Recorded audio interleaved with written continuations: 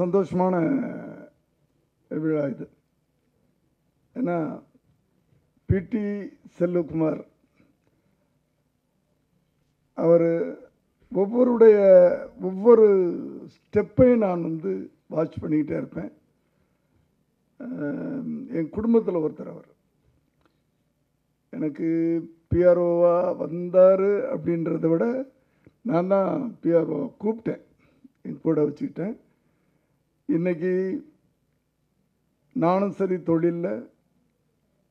என் மகன் விஜய் அவர்களும் சரி. நாங்கள் இந்த அளவுக்கு வளர்ந்துருக்கோம் அப்படின்னு சொன்னால் அதில் பிஆர் செல்வகுமாருக்கு ஒரு பெரிய பங்கு உண்டு. அது வந்து எப்படி அவர் நன்றி மறக்கூடாதுன்னு சொன்னாரோ அதே எண்ணத்தில் நான் வந்து சொல்லக்கூடிய இடம் இது.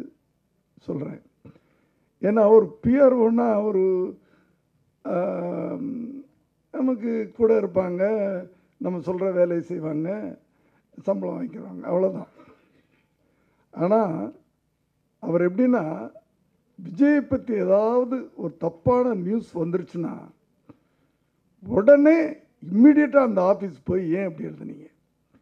விஜய்க்கா அப்படி சண்டை போடுவார். அவர் என்ன பண்ணார்? எதுக்கு இப்படி எழுதுறீங்க? உண்மையை எழுதுங்களேன். அப்படி ஒவ்வொரு இடத்துக்கும். அப்படி கூடவே இருந்த அவர் வளர்ச்சிக்கு உறுதுணையாக இருந்தவர். அதனால தான் நாங்கள் வந்து எங்கள் கூட இருக்கிற டிரைவராக இருக்கட்டும் யாராக இருக்கட்டும் உதவி இயக்குனர்களாக இருக்கட்டும் உதவி இயக்குனராக இருந்தால் இயக்குனராக ஆகணும்னு ஆசைப்படுவோம். டிரைவர்ஸை கூட நீ ஏதாவது இப்படி டிரைவராகவே ஏன் இருக்கிற இதுக்கு மேலே இன்னொரு ஸ்டெப்புக்கு போ அப்படின்னு சொல்லிட்டு நம்மகிட்ட இருக்கிறவங்க ஒரு மேலே வந்து வந்தால் அது நமக்கு சந்தோஷமான விஷயம். அந்த இதில் தான் வந்து கொஞ்சம் கொஞ்சமாக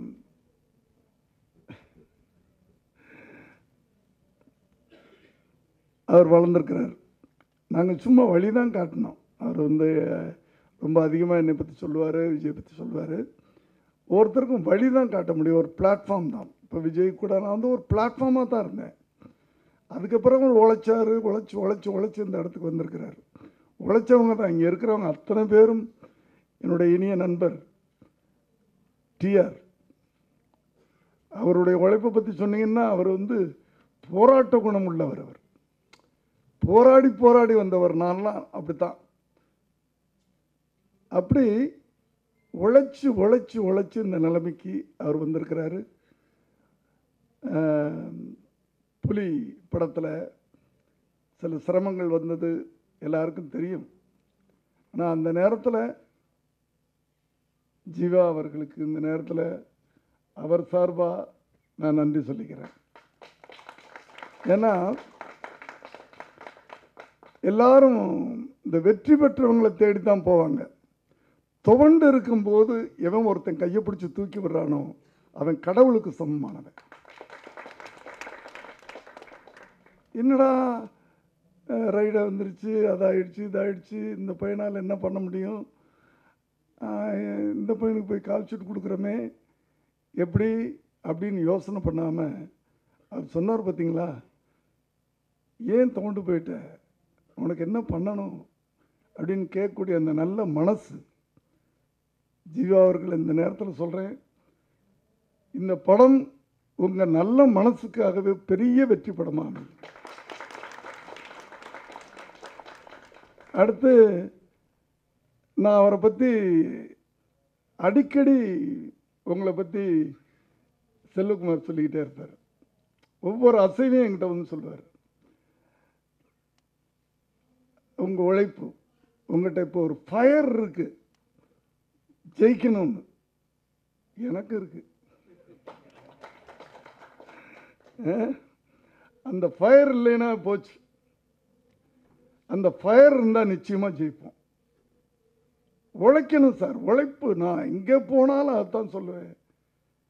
அவங்க இங்கே இருக்கிறவங்க மத்தியில எல்லாம் அந்த எம்ஏ படிச்சுட்டு அவர் நல்லா ஒன்றும் படிக்காதவன். ஆனால் உழைச்சி உழைச்சி இந்த இடத்துக்கு வந்திருக்கிறேன். அதனால் உழைச்சிங்கன்னா கடுமையாக நீங்கள் தொ- தொடணும்னு நினைக்கிற எல்லையை தாண்டி தொடலாம் வானத்தை தொடலாம். அவ்வளோதான் உழைக்கிறவங்களுக்கு வானம் கூட பக்கத்தில் இருக்கும் கை பக்கத்தில் அப்படின்னு சொல்லுவாங்க. இதில் இருக்கிற அத்தனை பேருக்கும் எல்லாரும் தெரிஞ்சவங்க இசையமைப்பாளர். இன்றைக்கி முக்கியமாக இந்த இசையின் நாயகன் அவர்தான். எனக்கு ரொம்ப வேண்டியவர். ரொம்ப கடவுள் பக்தி உள்ளவர். சமீப காலமாக அவருடைய மெலடி தான். நான் இன்னைக்கு பேசும்போது கூட அவங்க அப்பாட்ட பேசும்போது சொல்லிக்கிட்டு இருந்தேன். உங்கள் மெலடி தான் இன்னைக்கு எல்லாரையும் மயக்கிக்கிட்டு இருக்கு. இப்போ ஒரு அதிரடியான பாட்டு கேட்டேன். மெலடியை தாண்டி இப்படி கூட பாட முடியுமா? எனக்கு தெரியாது. இப்படி நீங்கள் பாடுவீங்கன்ட்டு. பாடியிருக்கிறீங்க. நான் ஒரு வெறித்தனமாக பாடியிருக்கிறீங்க? எக்ஸ்பீரியன்ஸா அத்து விட்டா அத்து விட்டான்னு யாரோ அத்து விட்டாங்களா அவங்கள? அதாவது லாங்குவேஜ் அந்த ஒரு பாட்டுடைய வெற்றிக்கு வந்து அந்த பல்லவி அந்த முதல் வரி அமைகிறது வந்து ரொம்ப சிரமம். அதை தேடி தேடி தேடி சமீப காலமாக அவர் பிடிச்சிக்கிட்டு இருக்கிறாரு. என்னை ஏமாற்றிட்டு போயிட்டா அப்படின்னு சொல்கிறது தானே?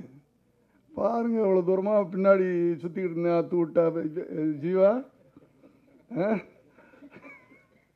எப்படி அத்து விட்டாங்க அவங்க? ஆ? அவங்களுக்கு புரியுமா தெரியல? அண்டர்ஸ்டாண்ட் ஆகுமா தெரியல? இப்படி பசங்களையெல்லாம் அத்து விட்டுறாதீங்க. எங்கேயாவதா? ஆ? அடு- அடுத்தது இயக்குனரை பற்றி சொல்லணும். இன்றைய இளம் இயக்குனர்கள்லாம் நான் உண்மையிலேயே அவங்கள பார்த்து மலைச்சு போய் நின்றுக்கிட்டு இருக்கிறேன் நான். அது எங்கே போனாலும் சொல்லுவேன். அவங்க ஒரு வரும்போதே வந்து ஒரு புது வேகமாக ஒரு புதுசாக சினிமாவையே ஒரு வேறு மாதிரி புரட்டி போட்டு ஒரு புது கோணத்தில் சினிமாவை உங்களுக்கு சொல்லிக்கிட்டு இருக்கிறாங்க. அந்த விதத்தில் அவருடைய முதல் படம் தமிழுக்கு என் ஒன்றை அழுத்தவும் அப்படின்னு ஆரம்பித்தார் இப்போது போக்கிரி ராஜா சூப்பர் ஸ்டார் ரஜினியுடைய டைட்டில்.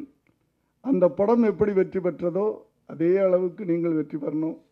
இந்த முழு டீம் எல்லாருமே எனக்கு தெரிஞ்சவங்க. அஞ்சு அஞ்சு அஞ்சுன்னு கூப்பிட்டாங்க. அஞ்சு இல்லை அவர் ஆஞ்சி ஆஞ்சநேயலு. ஆஞ்சநேயலுக்கு என்ன பலன் இருக்கும் அப்படின்னு உங்களுக்கெல்லாம் தெரியும். அந்த ஆஞ்சநேயலு தான் இப்போ ஆஞ்சி ஆஞ்சின்னு ஆயிட்டார். எனக்கு ஒரு படம் பண்ணியிருக்கிறாரு. ரொம்ப ரொம்ப ஃபாஸ்ட்டான கேமராமேன். ரொம்ப ஃபாஸ்ட்டாக அவர் கேமரா என்கிட்ட ஒரு காட்டுக்குள்ளே இல்லை. நம்ம ஒரு காட்டுக்குள்ளே ஒரு முப்பத்தஞ்சு நாள் நாற்பது நாள் இருந்தோம். ஒரு நாள் கூட கேமரா அவர் ஸ்டாண்டில் போட்டு நான் பார்த்ததே கிடையாது. கையில் தூக்கிட்டு தான் சுத்தமாக அந்த ஃபுல் பிக்சர் கையில் அப்படி இந்த பக்கத்தில் என்னுடைய என் படத்தில் வேலை செஞ்ச ஆர்ட் டைரக்டர் நான் உங்களுக்கு குருலாம் இல்லை சார். குருலாம் சொல்லிட்டீங்க நீங்கள் நானும் உங்களோ உங்களோட ஒருத்தர் தான். உங்களோட போட்டி போட்டுக்கிட்டு நானும் ஓடிக்கிட்டு இருக்கிறேன்ல. அதாவது ஒன்று ஓடணும். உங்கள் இளைஞர்களோடு சேர்ந்து ஓடணும். அது ஒன்றாவது வர்றோமா ரெண்டாவது வர்றோமா மூணாவது வர்றோமா அப்படிலாம் கிடையாது. ஓடணும் அவ்வளோதான் ஓடிக்கிட்டே இருக்கிறேன். ஆகவே ஓடிக்கொண்டிருக்கின்ற அத்தனை பேருக்கும் என்னுடைய வாழ்த்துக்கள். இந்த வெற்றி விழாவிலும் நான் கலந்து கொள்ள வேண்டும் என்று ஆசைப்படுகிறேன். செல்வகுமார் நீங்கள் தொடர்ந்து அடுத்த படம் ஆரம்பிச்சிட்டிங்கன்னு நினைக்கிறேன். ஆ? என்னையும் கொஞ்சம் அஸ்டண்ட்டாக வச்சுக்கோங்க. ஆ? வாழ்க செல்வகுமார் அவர்கள்.